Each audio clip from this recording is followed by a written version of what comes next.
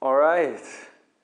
So this is the first lesson of a series of lessons. If you never have done or worked with the Felden, Felden, Felden, Feldenkrais method of somatic education yet, then I recommend you to work this through this series I'm going to present. And now is the first lesson.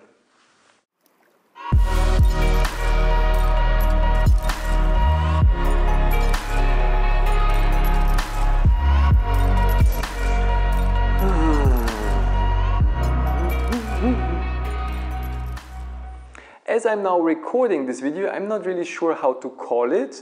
I will probably call it easier lifting of the head, easier lifting the head, better head organization, lifting better, lifting. You see, for the YouTube titles, I need to have a catchy title so people can find the video and then start to explore this kind of work, this kind of way of exploration, working with the body, experiencing ourselves in ourselves, from inside out. As you know, you are the only person who can perceive yourself from inside out, whereas all the other people in this world un unyieldly in this world, everyone is looking at you from the outside. Can't be any other way. Now, to have a catchy title, we we usually focus on a problem and a solution. Problem, solution, problem, solution. That sells very well, doesn't it? But at this kind of work, we're not, maybe you have a problem like a back or a knee or a shoulder problem, you're looking for a solution, or you, uh, but with this title, who is looking to lift the head easier? Uh, nobody's looking to be able to lift the head easier, I guess. Maybe I should call it like easy carriage of the head. So I guess people don't even know what this is about, what you can do with the head at all. So maybe we try this lesson together, or you try this lesson, and then you will see after, after like 20, 30 minutes, you, your perception for how you carry your head, how you lift your head will have completely changed, enhanced. You are becoming a lot more aware of how you do it, but you also get a lot better organization of how you do it. You organize yourself better for lifting the head. And it will feel much more pleasurable, I hope so. So usually in class I would talk you through it when you are in a live class so I can observe your movements and I can react to your movements and adjust what I'm saying. But on YouTube, of course, I only see this, I cannot really see you. So I will uh, do the movements myself, I participate in, in, in, in this exploration. I mean, I could just sit here and talk you through it, but I want to participate too. I need, I need this lesson too. I'm in Austria, close to the Switzerland border. It's a very beautiful little town, but it's getting winter, it's dark, it's a very lonely place, and I need this lesson. So I'm going to participate. I'm going on the floor. I will talk you through the lesson, and I hope you participate too, and we can explore together of how to make it easier to lift the head. So you will need a carpet, not a mattress. A mattress will be too soft. A sofa will be too soft. Just like a carpet or maybe a very flat futon. This is a futon, cotton mattress. This is too soft. You won't feel much on this. All right, so let's come to the floor and start with this Feldenkrais lesson.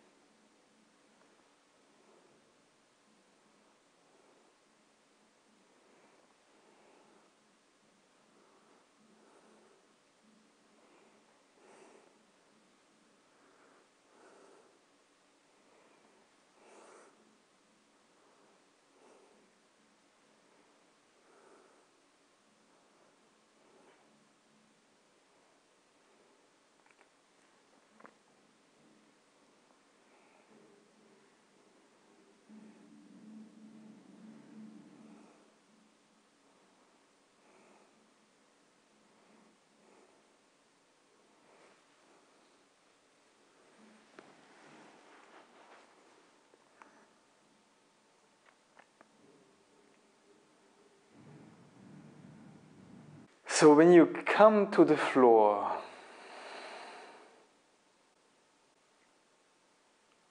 one way to describe this method, I, I just reread, I saw this quote, to make peace with gravity. Not just in lying down, but also in standing. To be at peace with gravity. to be at peace with gravity. Is it possible for you to lie down? I have clients who can't really lie down like this. For them, it's painful to lie down. So if it's easy for you to lie down, you can be grateful. I am grateful. You know, when I was 17, I was doing skateboarding and snowboarding and doing sports and I thought re being really flexible is super important and being able to do all sorts of tricks and stunts and going into all sorts of risks. And the older I got, the more I started to value when I just have uh, an agreeable, a nice content feeling in the body. I just, I don't feel any pain when, I, when I'm able to just walk down the street without pain that's some, some sort of achievement of, of a feeling of being happy with myself that I was able to maintain myself to a degree where I'm mm, pain-free, where I'm able to walk pain-free and to go wherever I want to go. And if I want to travel places, I can do it. My, my body will allow it, will support it. And this takes a lot of work. I think many people don't realize how much work it takes to maintain the body. We, we take it for granted. And we think we can work eight hours or 10 hours in a factory or in an office. And then we can play computer or watch TV in the evening and have a meal and just uh, live our lives, you know.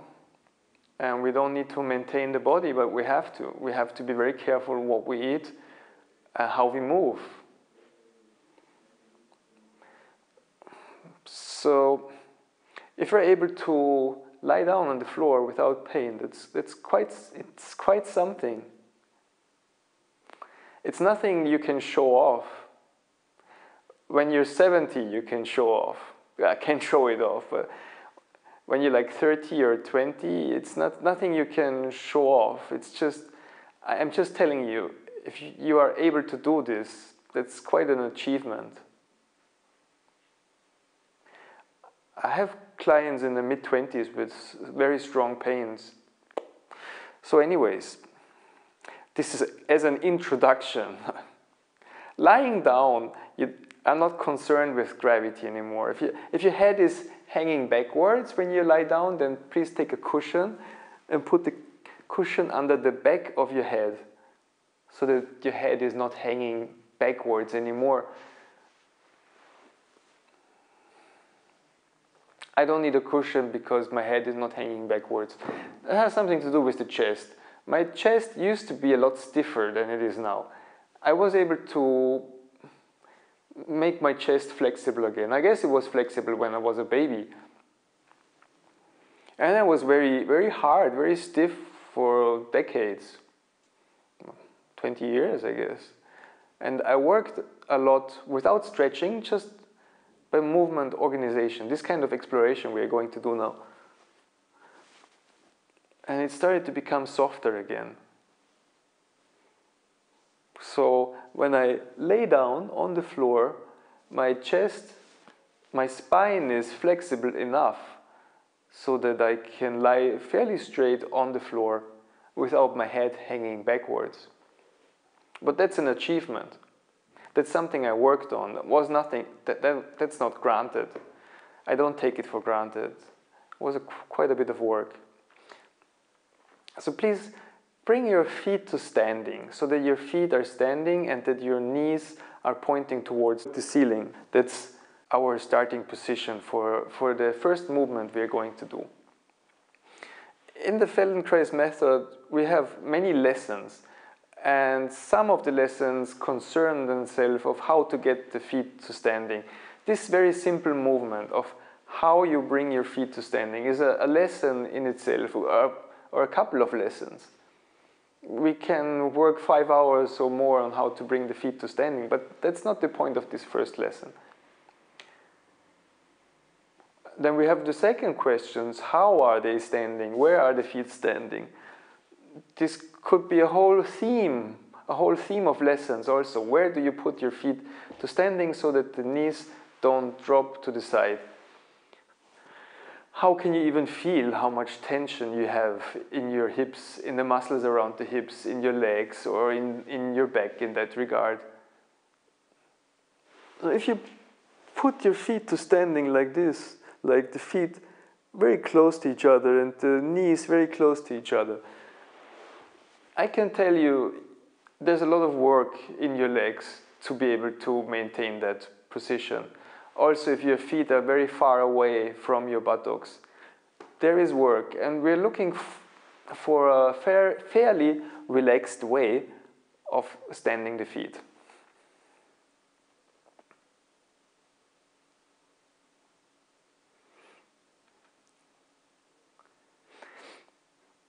Maybe focus on your right foot, the sole of your right foot.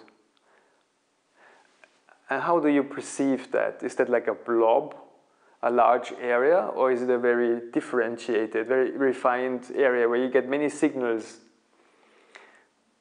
So your foot is not just one piece, one chunk of foot, but you have toes and balls of the, of the toes, the feet, and you have a heel and it's not just a heel, but you have like an inside and an outside edge of the heel, a middle part, a behind part, of closer to the midfoot part.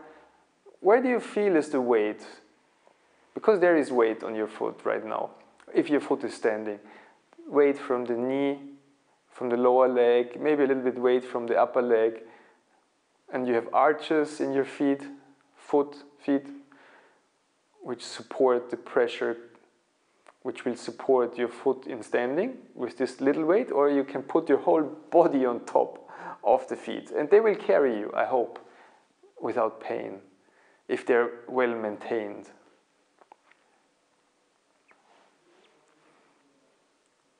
And then you can feel your pelvis, please. Where are you lying? Do you feel a left buttock or a right buttock?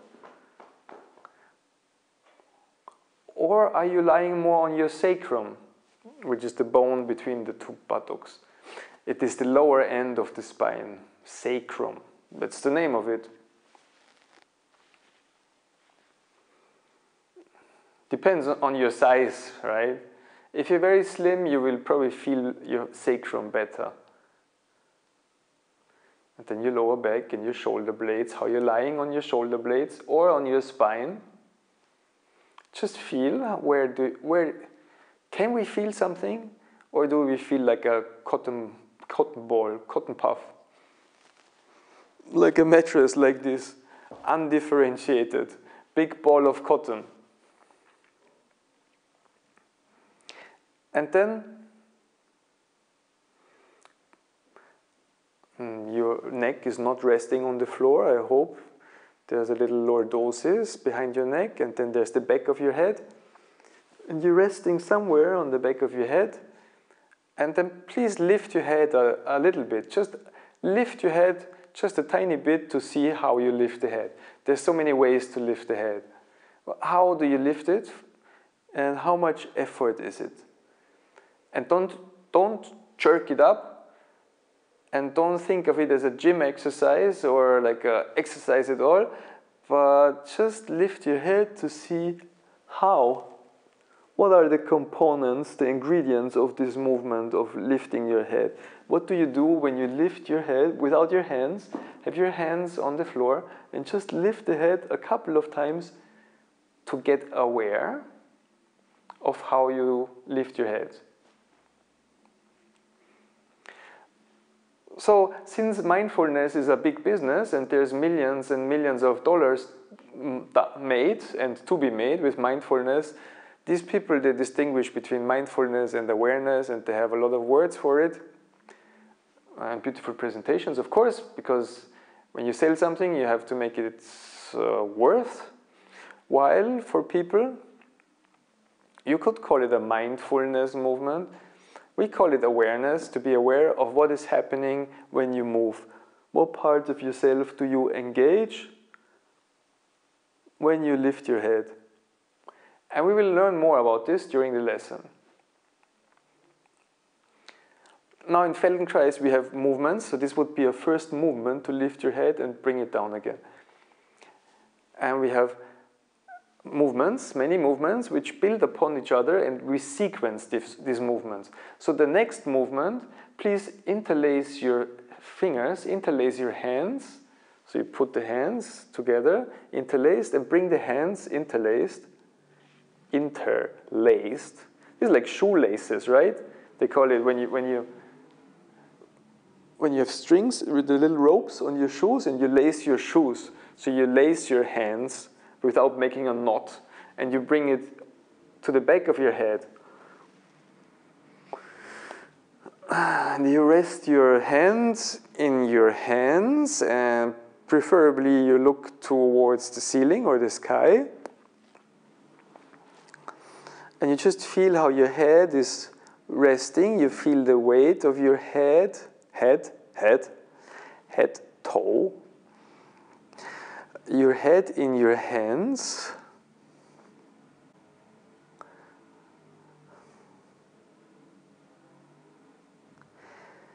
And then just lift your head with your hands, with the help of your arms. Lift your head as if your head would be a passenger,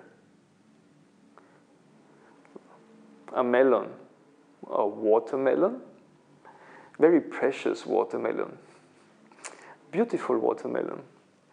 You lift your head with your hands, with your arms, and try this. How is it when you don't use your neck muscles so much or not at all, and you let your head be lifted by your arms?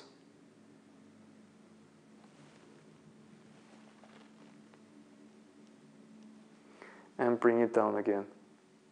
Take a short rest. Now let your elbows point towards the side. So that's the third movement.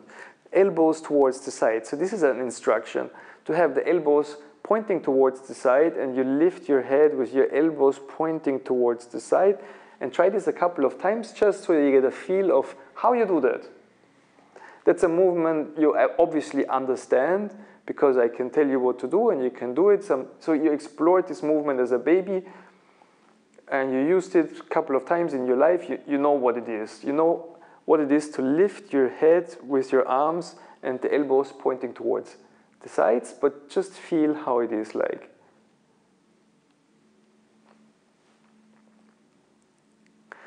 And then we do this next, you can do this like five times or 20 times, just depends on uh, how long you want to observe, experiment.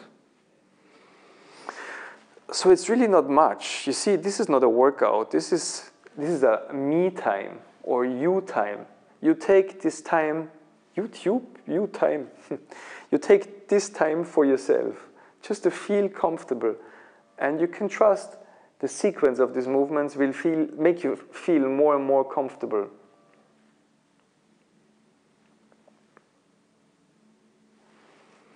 But continue to the next instruction, which you will please raise up your elbows a little bit, like halfway towards the ceiling. We would say like 45 degrees, something like this. Just raise your elbows a little bit and then continue to lift your head and bring it down.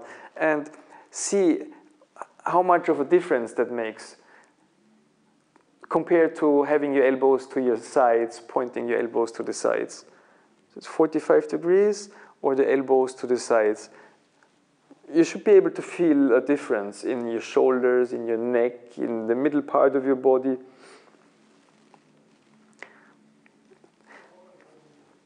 Let's make another movement, which will is the same movement, lifting your head with the help of your arms, but let your elbows point toward the ceiling. and do whatever is necessary. Whatever you feel matches. Don't, don't feel that you really, really, really have to follow what I say. Just try. So the instruction is you're lying supine, facing the sky, feet are standing, hands interlaced behind your head, and you're trying this movement, and everything else is allowed. Whatever you think of, you can do whatever. Whatever you think you're clever.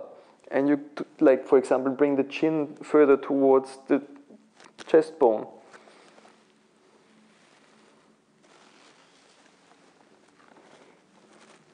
So these are three ways to point your elbows to the sides, 45 degrees, or to the ceiling. Then please take a rest.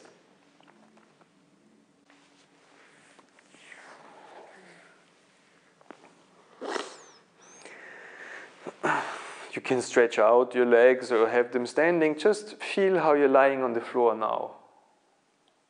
Because this is something that changes throughout this lesson how you feel how you're lying on the floor. Maybe the back of your chest starts not to be a cotton ball anymore, if it was at the beginning, I don't know. But you start to be more aware of the different areas on your back or your buttocks or your legs. You start to feel more. You're getting more aware of your presence, of what there is to feel, but also being more aware of the movement and the connection between what you think, what we do, what you sense, what you feel. So please bring your feet to standing again. Your feet are standing. Interlace your fingers, bring them behind the back of your head not in your neck, but the back of your head. Let your elbows point towards the ceiling. This should be the easiest. And lift your head again.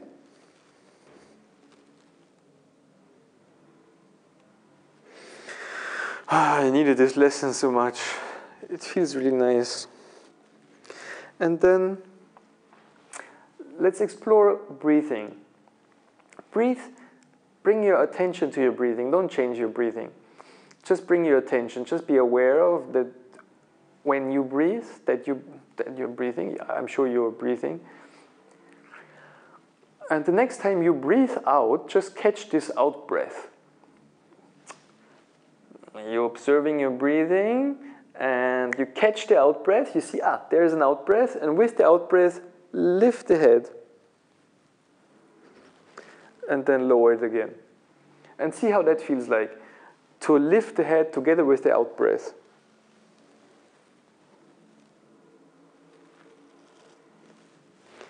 Yeah?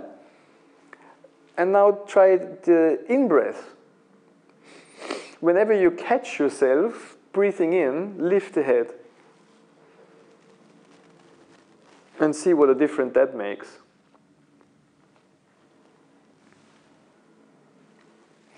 Try the same thing with holding your breath.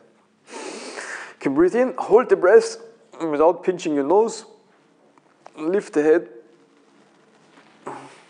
So, I would say breathing out should be the easiest. It's like a balloon. When there's just little air in a balloon, you can twist the balloon. Well, if the balloon is full of air, it's difficult to twist it, right? Balloon, balloon, balloon. You can explore this a little bit.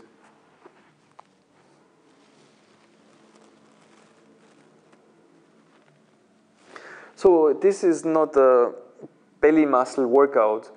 We're working on the organization of how to lift the head. And for that, we already had like five or six different movements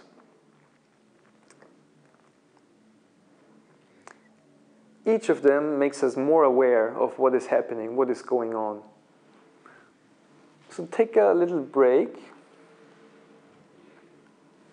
a little rest.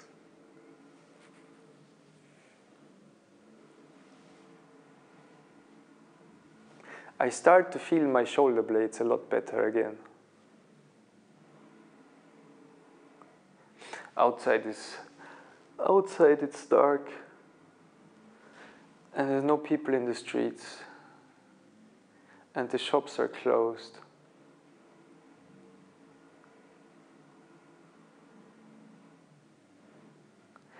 All right, then please bring your feet to standing.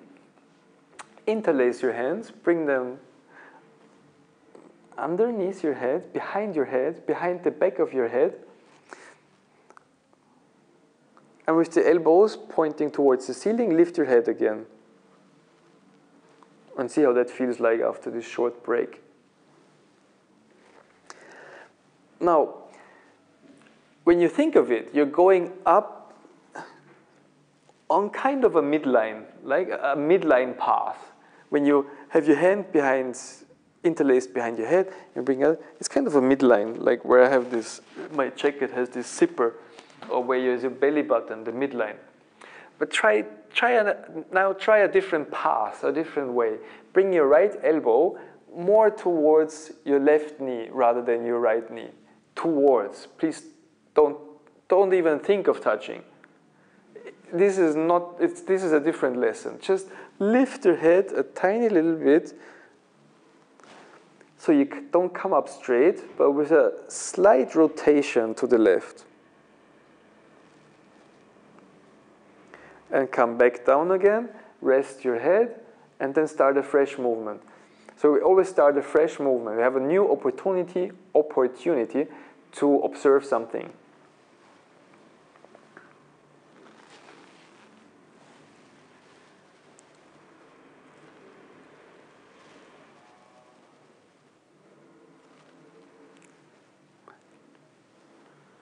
All right, the next time you rest your head, bring your elbows towards the ceiling. And lift your left elbow a little bit closer towards your right knee, towards. So this is a different path of coming up. So it's not only straight, we can have a slight rotation to the right or a slight rotation to the left and everything in between.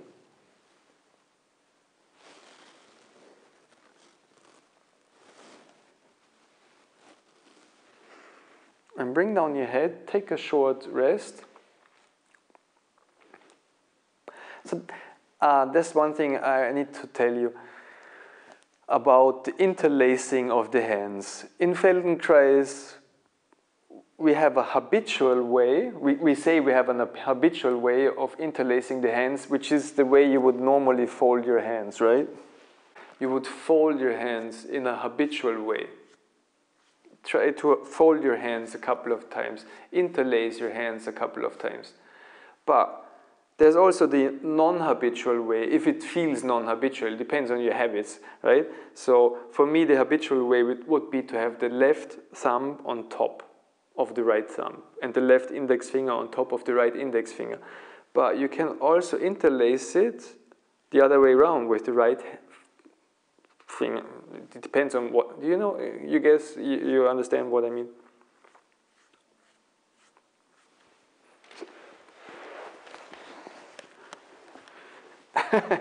All right, so there you have the, take the non-habitual, maybe one way to interlace your fingers feels weird, right?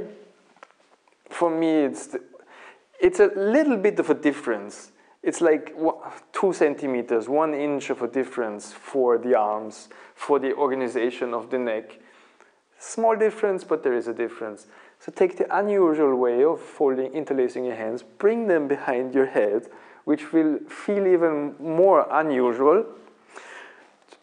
Don't be repelled by it. Don't think it's strange. It's just unusual.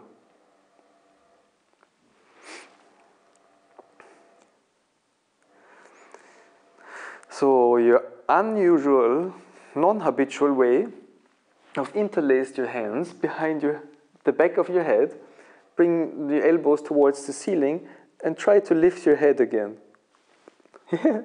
this might give you a new opportunity to feel this movement.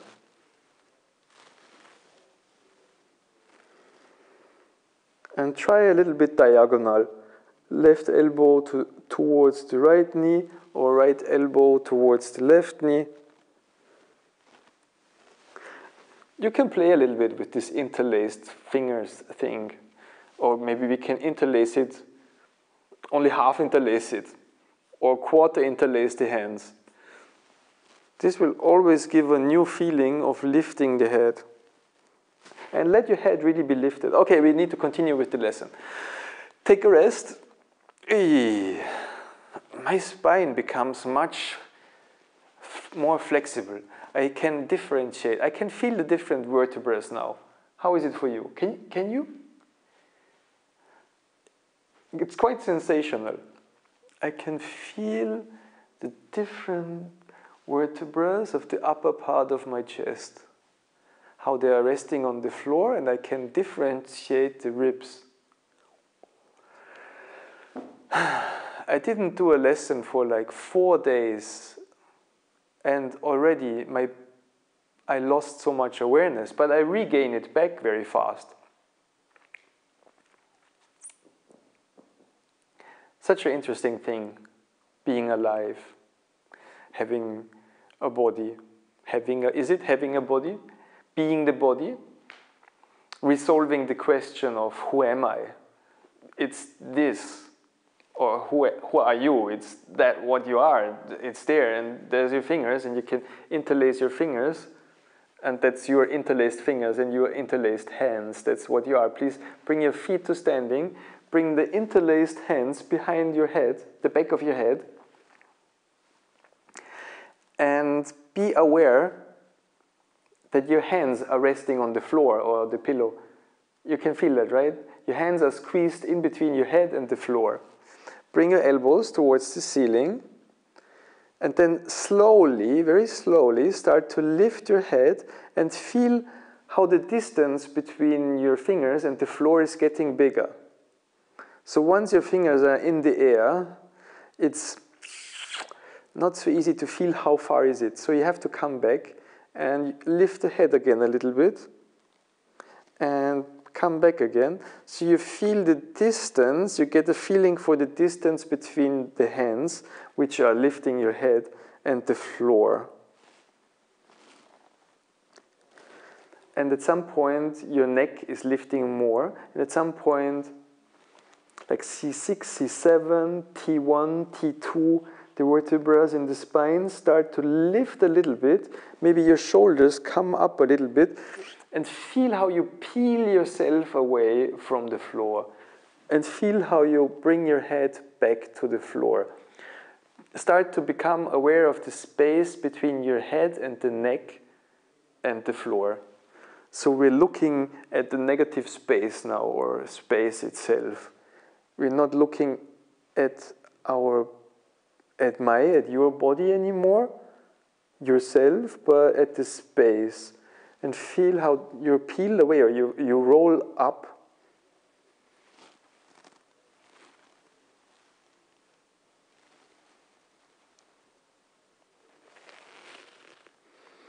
This lesson has been going on far too long. Please come to rest on the floor again. Take a short rest. We need to, we need to wrap it up, finish it.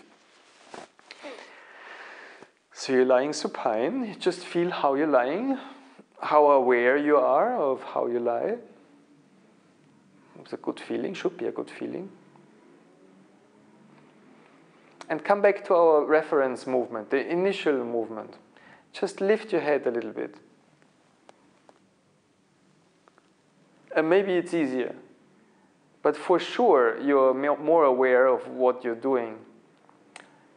Right? When you lift your head now, for sure it's different than in the beginning.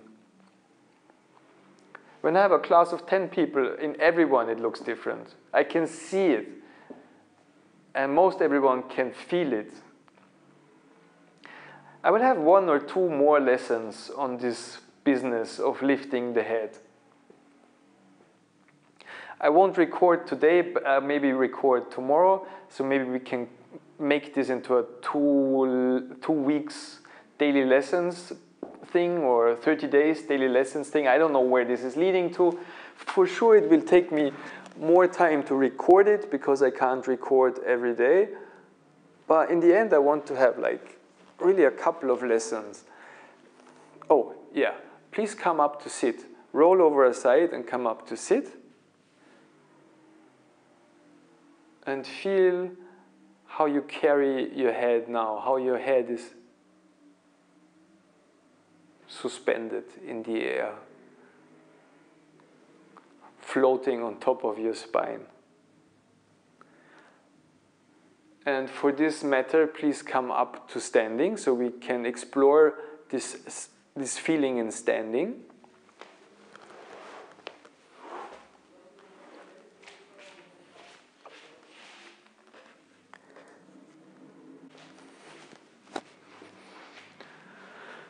how your head is on top, yeah, on top of your shoulders, on top of your pelvis, how your pelvis is on top of your feet, and now you can feel your feet again. Maybe you can differentiate where you where is the weight on your feet, right leg, more than on the left leg, or the other way around, or evenly distributed, more on the toes or more on the back. Start to be easy, upright. Don't put too much tension. Take a few steps, just feel, feel how it is to walk. Bend your head and to lift your head. marvelous, marvelous. Right? All right. Uh, there's a little like button below the video. If you like the video, please like the video. That's very important for my YouTube channel so that other people can find it. If, if there's a like, YouTube will rank it better. If you want to share, I would be happy to read your experience in this lesson. So I can also see how to progress. Maybe you, I can get some ideas from me. That's our way we can directly interact through the comments. And yeah. Thank you for participating and have a good day and see you in the next video.